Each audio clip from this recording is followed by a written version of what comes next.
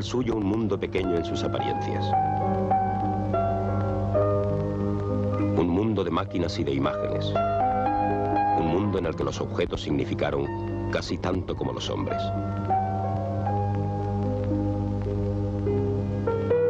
Así es como las cosas que rodearon a Fructuoso Selaver podrían reconstruir toda su historia, desde el armario taller donde él trabajó durante más de medio siglo. El año de 1874 le vio nacer en la barcelonesa Villa de Gracia, de padre mallorquín y madre catalana.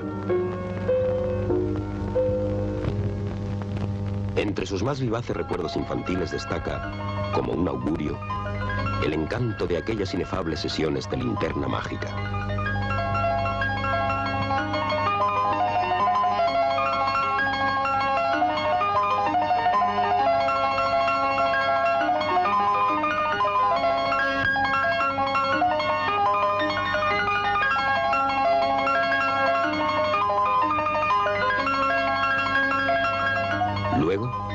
Las bandas animadas del Plaxinoscope acabarán de abrirle la cancela de todo un maravilloso universo.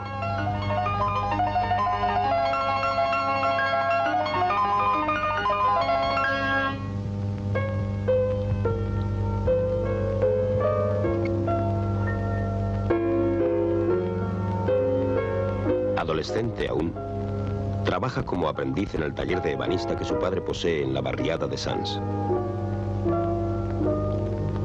Allí, en el pequeño patio vecino a la iglesia, encontrará tema para una de sus primeras pinturas. Siendo aún alumno de la lonja, cuando la Exposición Universal de 1888 abre prometedoras perspectivas en el desarrollo de la ciudad condal.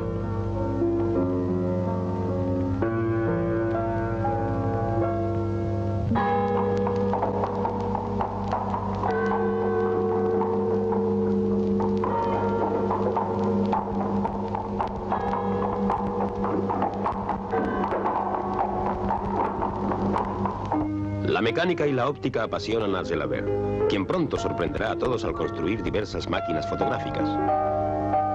Es el momento en que la fotografía está de moda y no hay artista ni elegante que resista la tentación de posar en los estudios de Esplugas o Napoleón.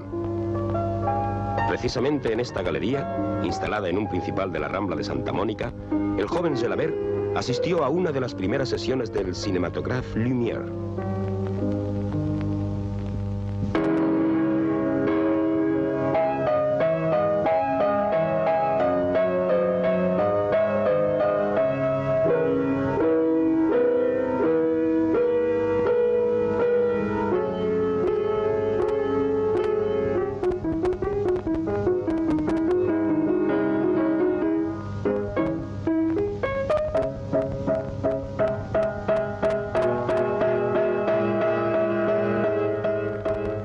Aquellas fabulosas imágenes en movimiento dejaron pensativo y como deslumbrado a Gelaber. Pero entre todas, una cinta de argumento, El regador regado, significó para él la revelación de un nuevo medio expresivo. La idea martilleaba en su mente. Aquel era su camino, y nadie conseguiría apartarle de él.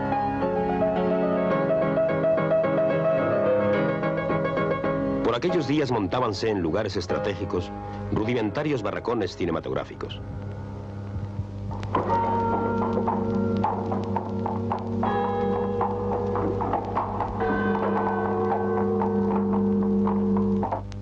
Poco después, Zelaber construía su primer tomavistas basándose en el modelo Lumière.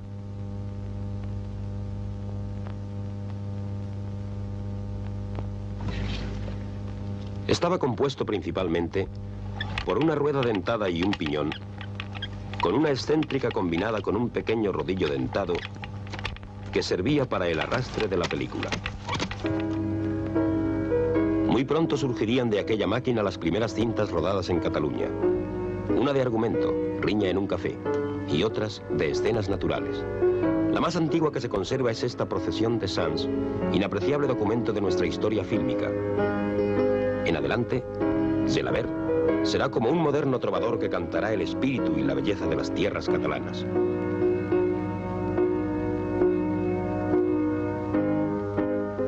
Su cámara vio así el puerto de Barcelona en 1902.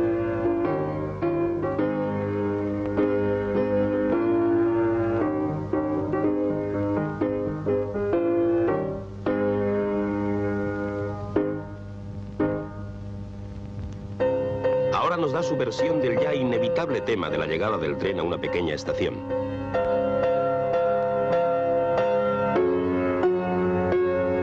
al espectador en los alegres pero solemnes festejos veraniegos de las villas cercanas a la capital.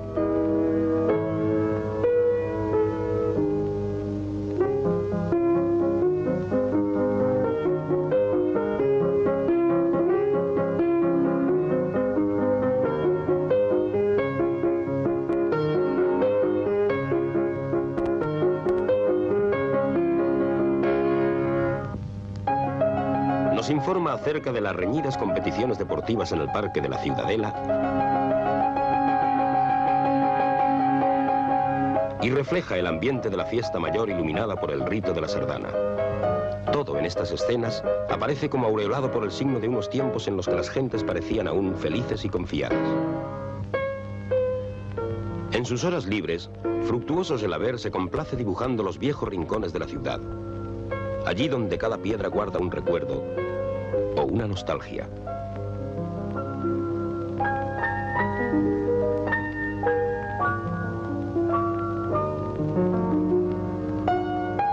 Él no ignora que muchas de aquellas vetustas calles desaparecerán pronto, arrolladas por la metrópoli que ya se extiende hasta las laderas de la montaña del Tibidabo.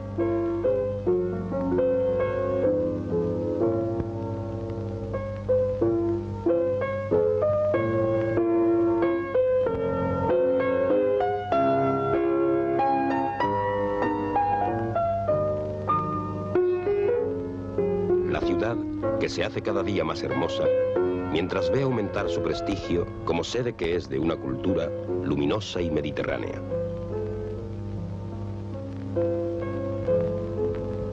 Él ama sobre todo el europeo bullicio del paralelo, ese lugar único donde triunfa el espectáculo frívolo. Mientras, los cines han dejado de ser barracones y hasta algunos resultan confortables y casi lujosos. Selaver, ahora director de la empresa Diorama, inventa la lámpara de acetileno y oxígeno para proyecciones y levanta el primer estudio de rodaje de España.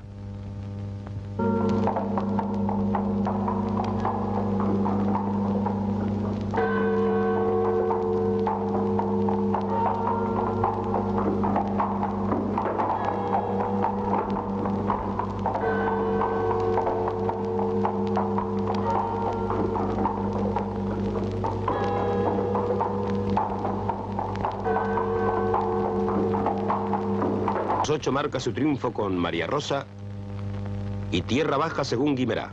Y luego Guzmán el Bueno.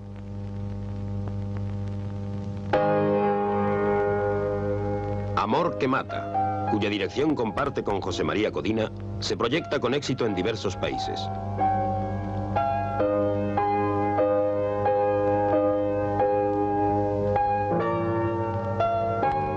Interesante documento que nos ofrece un testimonio de las formas de vida por aquellos años, es también una excelente demostración de la pericia de Gelabert.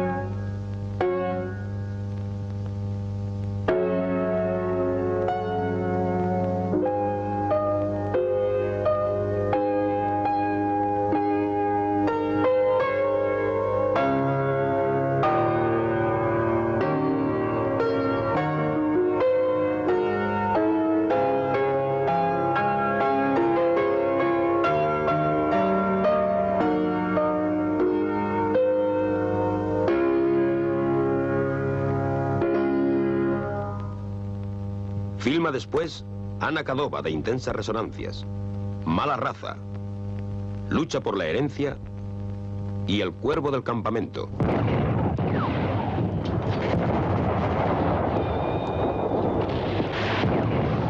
También para Zelaber llega ahora la bancarrota por falta de materia prima y de recursos industriales. Pero él seguirá en la brecha con el nocturno de Chopin, por la eximia Margarita Sirgu. Más tarde, ya propietario de una productora, con el Sino Manda, al margen de sus habituales temas, y el Doctor Rojo y la España Trágica como operador.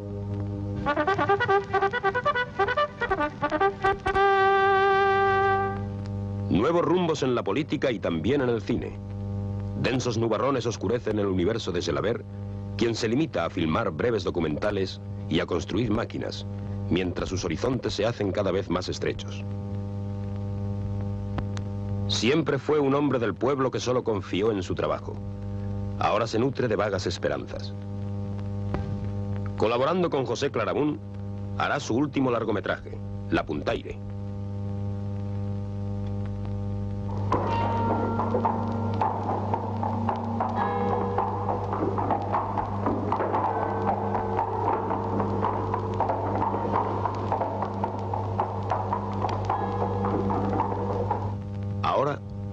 Industria del cine levanta suntuosos locales. El sonoro acabará arrinconando a fructuosos el haber en los años de la exposición internacional, cuando los días de la monarquía están contados.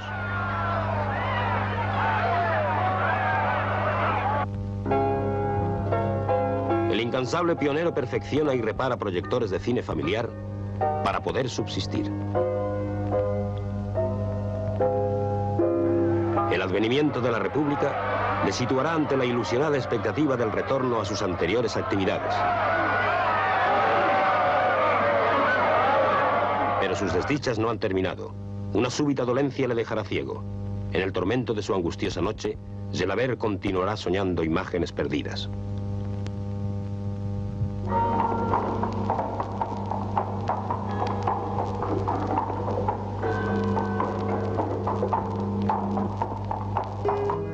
Pronto la luz volverá a sus ojos.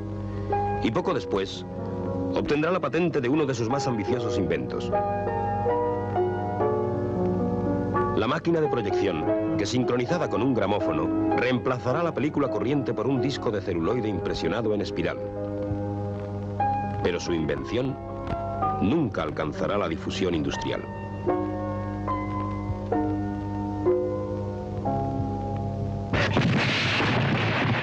Es entonces cuando en España estalla la tragedia que durante varios años inundará de sangre y de odio el país entero.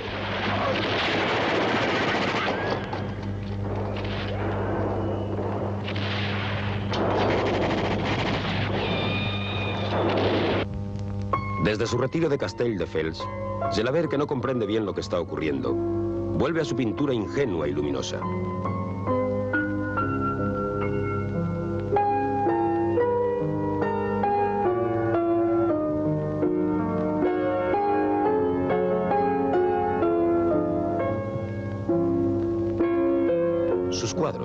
Al principio son reflejos de lo que contempla o de cuanto atesora en su memoria, se orientarán luego hacia la evasión, hacia el olvido. Cuando llegue la paz, llame la sombra de sí mismo, malgastará su tiempo escribiendo a quienes podrían ayudarle, en demanda no de dinero, sino de película virgen para poder proseguir sus ensayos sobre el cine en relieve, cuyo secreto cree poseer desde hace largo tiempo. Este plano de la silla servirá para sus últimas experiencias. Fallecida su esposa y casi octogenario, hará acopio de sus postreras fuerzas, con la ilusión de volver a filmar, en el mismo lugar en que lo hiciera en 1897, y con idéntico metraje, aquella Riña en un café, que abrió un día su extensa filmografía y ahora, por paradoja, la epilogará nostálgicamente.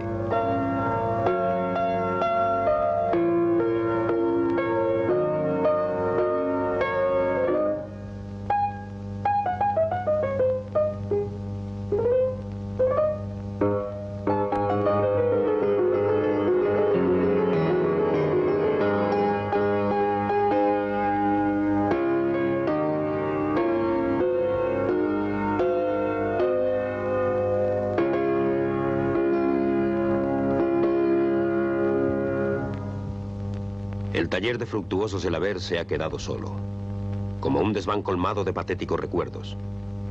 Pero en su silencio se escuchan a veces remotos ecos, en los que vibran, extrañamente unidos, el reconocimiento y la protesta.